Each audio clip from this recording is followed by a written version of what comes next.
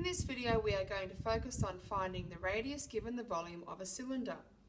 Sometimes you are required to work backwards from volume and find the radius of a cylinder. To do this you must solve using an equation instead of a rule. So I've got a question here. It says calculate correct to one decimal place. We've got our diagram. We've been given the volume and the height. So this is the volume, this is the height. So V, height, and the radius is our unknown. So first of all, we're going to write the volume rule. Volume equals pi r squared times height. And then we're going to substitute in the values that we know. So we know that the volume is 21.21 equals pi times r squared, we don't know that yet, times the height of 3. Now from there we need to do some rearranging, so watch carefully. We want letters on the left and numbers on the right because this is now going to become an equation. So I'm going to take the r squared and place it here put an equal sign, a fraction line. This 21.21 sits on the top and the rest of it goes underneath. So pi times 3 and that has to go in a bracket. So I'll just quickly show you again. Because we want letters on the left and numbers on the right, because it's end up going to end up being an equation, we put the r squared because that's what we need to find out and that has to go on the left hand side for letters on the left and for what we're trying to solve.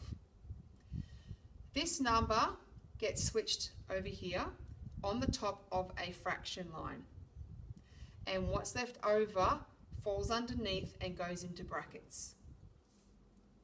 So now we continue based on what we have here. So if we punch into our calculators 21.21, ABC fraction line, bracket, pi times 3 bracket equals, we are going to get this number 2.250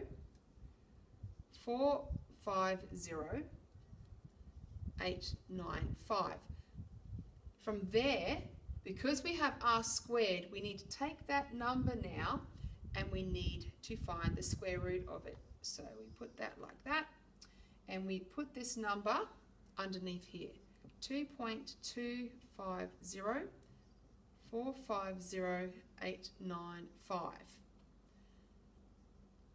R equals and we get this number 1.50015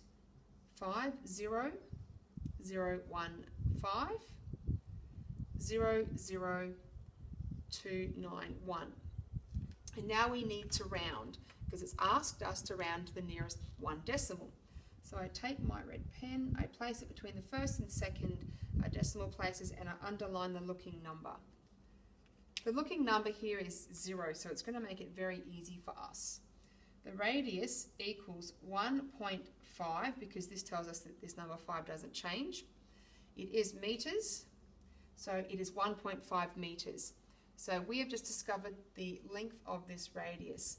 And if you wanted to check your work, you can work backwards and you can use the new radius you've just found of 1.5, calculate it with the height of 3, and you should come up with this 21.21 meters cubed. So it's quite different compared to calculating the normal volume of a cylinder. So essentially what you need to do is write the normal rule for volume of a cylinder, substitute in the correct values. Obviously, we don't know what the radius is yet. When we get to this line, because we need to discover and find what the radius is, and we also want letters on the left because it is becoming a bit of an equation, we then take this r squared and place it here. We couldn't continue calculating with the letter over here. This volume gets swapped over onto the right hand side where numbers need to be. It's on top of a fraction line because the opposite of multiplication is division. And then we place what we haven't used underneath in brackets. When you calculate that, you can do this all in one move on the calculator. 21.21, ABC fraction button, bracket pi times 3 bracket equals, and it will give you this. Because it's r squared and we want to find r on its own, we find the square root of this number. we get an answer, and then we round according to what the question is asking us to do.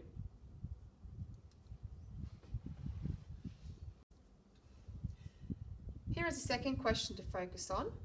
So we're going to do exactly the same thing we just did before. We are going to take the normal rule, switch it around and turn it into an equation. So the first thing we have to do is write volume equals and the normal rule of pi r squared times height. Our second line is substitution, so we then change the V for volume for what we already know here, which is 273.70 equals pi times radius squared. We don't know what the radius is just yet, multiplied by the height of 8, because this is our height. We continue to work down the page. Now we have to do some swapping around here. In the third line, we take the radius out and we place it on the side, on the left-hand side. We want letters on the left and numbers on the right.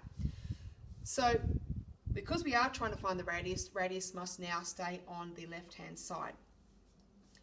This volume, we now are going to put the number over here, so it's 273.70. And the opposite of the multiplication is division, so that's why we've got division here. And what we haven't used, we're going to put underneath in brackets. So pi times 8 bracket. Now remember, pi is actually standing for numbers. So don't get confused by thinking well, letters on the left, numbers on the right. What's this doing here? This actually is a number. It's a button you're going to use on your calculator that represents a very long number. Now we're at this phase here, we can start to calculate. So you get your calculator and you're going to punch in the calculator 273.70 ABC fraction button bracket pi times 8 bracket equals and we write the answer out completely and that is 10.89017698. We haven't finished there because it says r squared. So in order for us to find r, we have to find the square root of that number. So we simply copy that number down. And in our calculators, we go square root button, put this into your calculator equals, radius equals 3.300026.815. Now the question is asking us to round to one decimal place. Again, lucky for us, it's not going to change the answer. So I've separated this first and second decimal point, underline the looking number. The radius is going to be 3.3 because it doesn't change. We are dealing with meters. So now I know that this radius here is 3.3 meters. If I substitute that back in and calculate the volume, I should come back to this number.